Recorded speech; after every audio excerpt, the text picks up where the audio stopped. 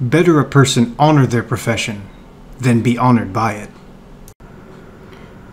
Jean Eugène Robert Houdin, legendary watchmaker, magician, illusionist, and father of modern day magic. The following are 12 amazing facts about this legend.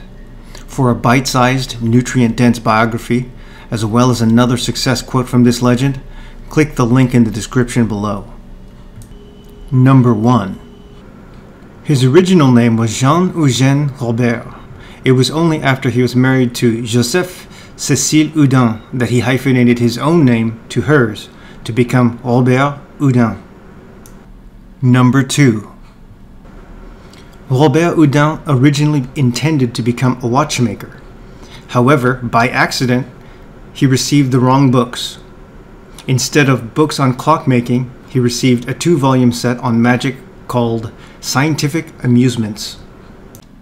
Number 3 Robert Houdin began constructing magic equipment for his own use on stage instead of selling it to others, as in the case of his acclaimed writing and drawing automaton, which was eventually sold to P.T. Barnum. Number 4 He invented many tricks for his theater, but one of his more famous tricks was the light and heavy chest, where he used electromagnetism, at that time in its infancy, to his advantage. In this trick, he would ask a small child to lift the chest. The child did so with ease. Then he would bring up a very strong adult audience member to lift the same box.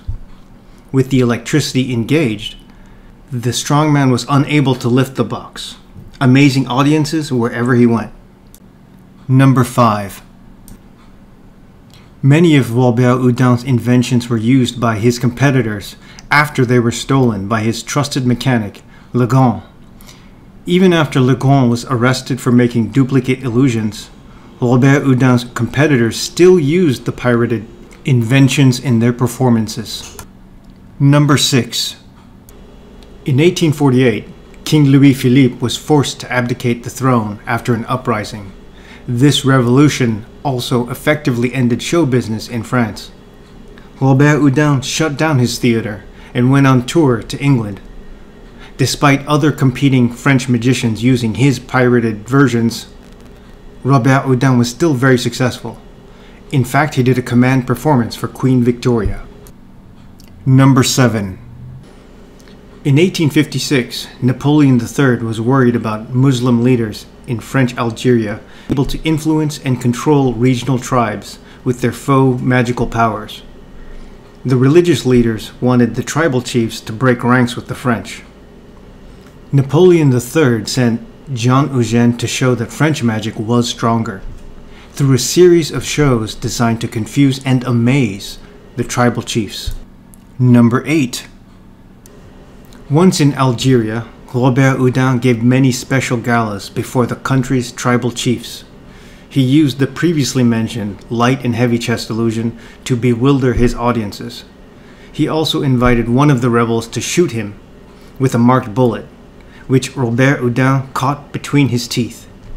In awe, Boualem, the head of the tribe of the desert interior, gave Robert Houdin a certificate praising his mysterious manifestations and repledging their loyalty to France and stopping a potential rebellion.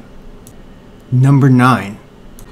In 1966, Robert Houdin's home in Blois, France was converted into a museum and theater. It's the only public museum in Europe that incorporates collections of magic and a site for the performing arts. Number 10. Legendary illusionist Harry Houdini was so impressed by Robert Houdin's autobiography that he changed his given name from Eric Weiss to Harry Houdini, adding the I to Houdin after incorrectly believing that adding an I at the end of the name meant like in French.